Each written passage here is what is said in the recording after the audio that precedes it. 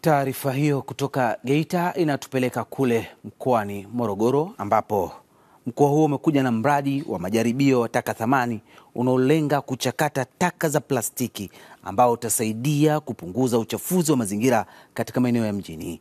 Mradi huo unatekelezwa na Norway Church AIDS na kanisa la Anglikana Dayosisi ya Morogoro kwa ufadhili wa sekta binafsi za Norway umelenga kuzibadilisha taka za plastiki kuwa thamani kupitia vikundi vya vijana na wanawake na watu wenye ulemavu. Ni mradi ambao umelenga kuifanya manispaa ya Morogoro kuwa safi kwa kuzichakata taka za plastiki na kuzigeuza kuwa thamani. Mradi huu umelenga kuinua uchumi wa kundi la vijana, kundi la wanawake pamoja na kundi la watu wenye mahitaji maalum. Lengo kubwa la mradi huu ni kutengeneza ajira kwa vijana, lakini ni kuwezesha e, ubora e, we, we udhibiti wa taka takataka katika manispaa ya Morogoro, kwa maana kwamba kuweka e, manispaa ya Morogoro katika hali ya usafi.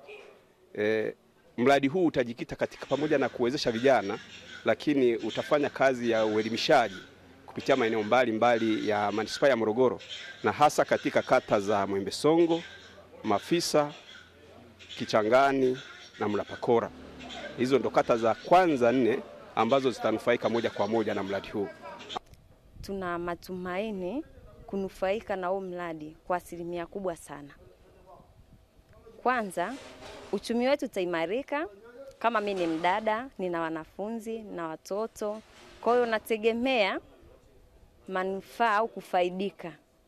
Maisha yalikuwa ni ya kawaida, lakini naona sasa napata mwangaza kwenda kupata maisha ambayo yaliyokuwa bora zaidi, kwa sababu ni mradi ambao cha kwanza unakuwa unasababisha mazingira kuwa safi, kwa sababu tunachukua zile taka thamani taka ili kuwa kuzibadilisha kuwa katika thamani. Kwa hiyo ni mradi ambao kwanza unaweka mazingira yakiwa safi, salama, lakini pia vile ambavyo vilikuwa vinatupwa sasa hivi vinakuwa visitupwe tena, watu waviweke vizuri ili tukusanye kwa ajili ya kutengeneza pesa.